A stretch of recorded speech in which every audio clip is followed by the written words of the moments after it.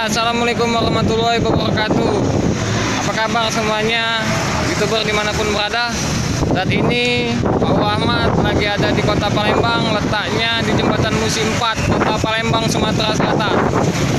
Youtuber di mana pun berada Dan intinya saya selalu memohon Dukungan Untuk uh, subscribe, like, komen, dan dibagikan channel Pak Ahmad. Jikalau video-video Pak Ahmad bermanfaat untuk banyak orang.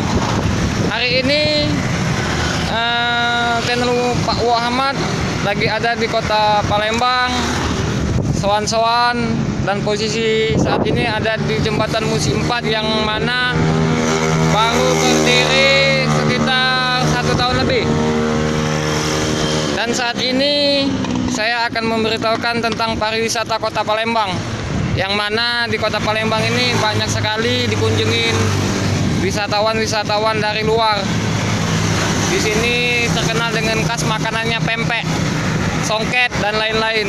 Serta ada uh, peninggalan-peninggalan purbakala di zaman kerajaan Sriwijaya. Saat ini saya ada di jembatan musim 4 yang mana jembatan musim 4 ini kalau malam banyak uh, warga Palembang mancing. Dan juga kalau malam ada muda-mudi untuk foto-foto uh, atau ngobrol-ngobrol di atas jembatan musim 4 yang baru berdiri satu tahun lebih. Di ujung sana itu simbol kota Palembang. Itu peninggalan perang di zaman Jepang simbol Kota Palembang Jembatan Ampera. Itu Jembatan Ampera itu penghubung antara Ulu dan Hilir. Di sana PT Pupuk Sriwijaya yang terkenal. Pupuk. Nah, di Kota Palembang ini ada kisah yang mana Kota Palembang ini ada yang namanya eh, apa namanya tuh? Pulau Kemarau. Pulau Kemarau itu terletak di tengah-tengah pulau. Yang mana menuju ke sana harus menggunakan ketek atau speed. Naik keteknya atau speednya dari bawah jembatan Ampera. Pulau Kemarau itu dikenal dengan Pulau Cinta, yang mana di situ ada pagoda dan pohon cintanya, mengisahkan tentang seorang putri dan seorang biasa-biasa yang jatuh cinta dan akhirnya tidak disetujui sama itu dan mereka akhirnya bunuh diri. Maka dijadikanlah namanya Pulau Kamarau di situ ada pohon cinta dan banyak orang. Menyatat namanya agar menjadi abadi cintanya. Dan ada juga di seberang sana namanya ada makam putri. Dan di situ banyak sekali apa hewan monyet yang jinak. Kayak gitu. Letaknya di bagian ulu di Stadion Patra Jaya dekat uh, markas besar TNI Angkatan Darat Jikon. Inilah jembatan uh, aliran jembatan Musi Sungai Musi. Ada kapal-kapalnya.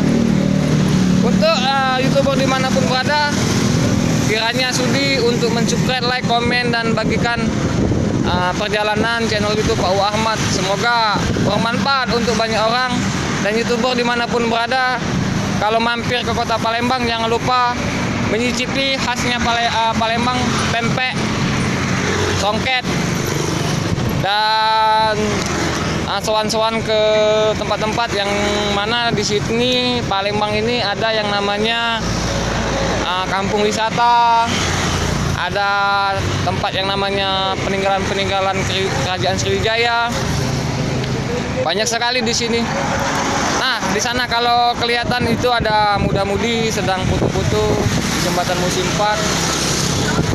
Ini ada anak-anak dari kota Palembang mungkin uh, pada nongkrong lagi santai-santai makan sambil apa itu.